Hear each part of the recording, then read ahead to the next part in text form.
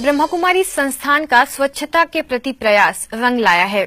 Abu road station स्वच्छता सर्वे में देश में 36वें नंबर स्थान प्राप्त किया है। यह आबू रोड के लोगों तथा ब्रह्मकुमारी संस्थान के लिए गौरव की बात है।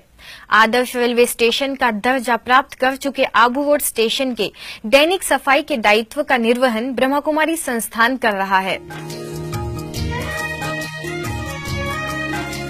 राजस्थान के एकमात्र हिल स्टेशन माउंट आबू, आने वाले पर्यटकों तथा अंतर्राष्ट्रीय आध्यात्मिक संस्थान, ब्रह्मा कुमारी संस्थान में प्रतिवर्ष लाखों की संख्या में आने वाले लोगों के लिए ये एक अच्छा संदेश है।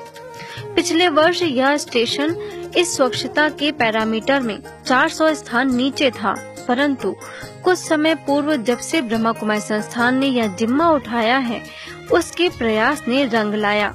और यह स्टेशन लंबी छलांग लगाते हुए 36वें स्थान पर पहुँच गया है।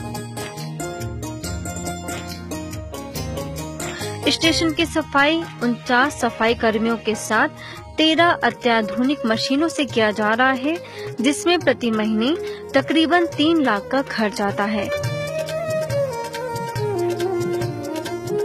रेलवे मंत्रालय तथा ब्रह्मकुमारी संस्थान में पिछले वर्ष ही स्वच्छता को लेकर समझौता हुआ था, जिसके तहत पूरी स्वच्छता का जिम्मा ब्रह्मकुमारी संस्थान निर्वहन कर रहा है।